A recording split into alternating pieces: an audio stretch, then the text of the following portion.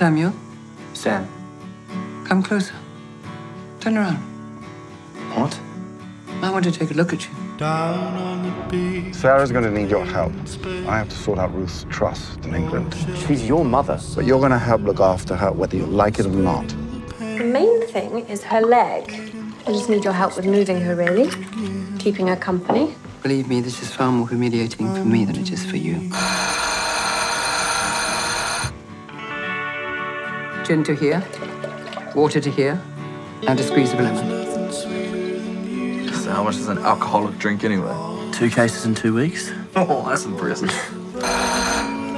Yes. Don't ever water it down. Do you like another shot? Seems I've run out of ammunition. I'm surprised you sent him away to boarding school. He always said it ruined your life. Keeps him out of trouble. Why did you come here? I'd have some small talk first. You have a broken leg and you and Dad hate each other. No, I don't hate him.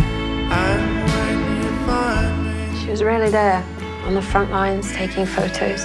She looks like she's had a lot of fun. I think we should have a party. Oh, guess the word got around. You sound like my kind of people. what do you want? One more passionate love affair.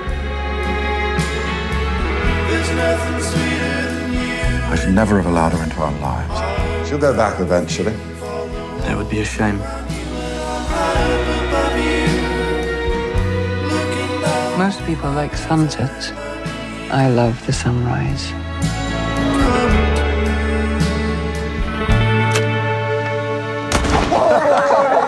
Again!